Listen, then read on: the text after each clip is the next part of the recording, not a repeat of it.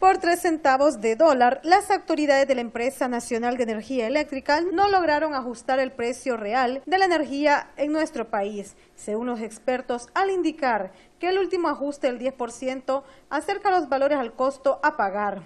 En tanto, el sector privado prevé menor inversión y los usuarios ven impávida cómo se reduce el ingreso en sus bolsillos. Eh, yo digo que está malo porque el sistema económico ahorita está jodido y entonces no, no pueden aumentarle a la luz. ¿Y cuánto le sale a usted de energía?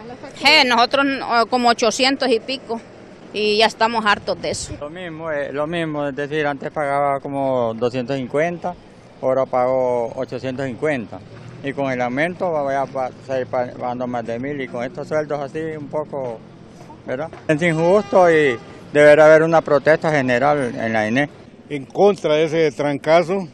Realmente, ¿qué podemos hacer? Solo tenemos el derecho a pataleo, porque no tenemos nada, nada, ni nadie que nos acuerpe o nos apoye. Así que vamos a seguir sufriendo con este gobierno. Y es que el incremento de las tarifas de la NE en el sector comercial, residencial, industrial, trae consigo serios problemas. Y el golpe más fuerte lo siente la clase baja. Yo solo pago 600, pero igual no tengo nada.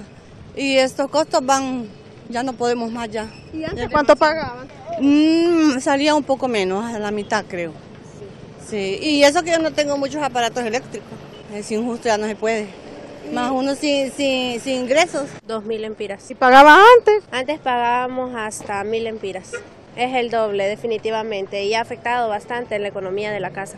Pues que hagan, que le bajen otra vez a lo que estaba antes, porque definitivamente el país no está en las condiciones para estar con ese 10% de aumento. Yo estoy pagando 1.968 lempiras. Yo me pongo a pensar que es por la devaluación de la moneda. Entonces, la devaluación de la moneda viene a encarecer la energía. Ah, no, sí, eso lo está molestando bastante porque bien, no, no podemos. Mira, ahorita, ahorita yo estoy pagando 1.400, así, ahorita. A este mes que viene se espera más alto. Más alto. Los cuesta pagar y lo que viene no podemos.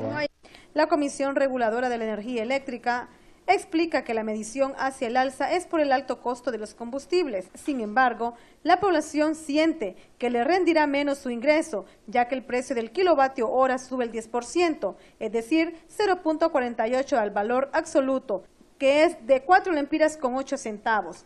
De acuerdo a los empleados de la NE, la tarifa real es de 5 lempiras con 40 centavos kilovatio hora, es decir, que faltarían 3 centavos para alcanzar el precio que puede cobrar la empresa nacional de energía eléctrica. En Cámara Javier López, Lili Valladares, Noticeis.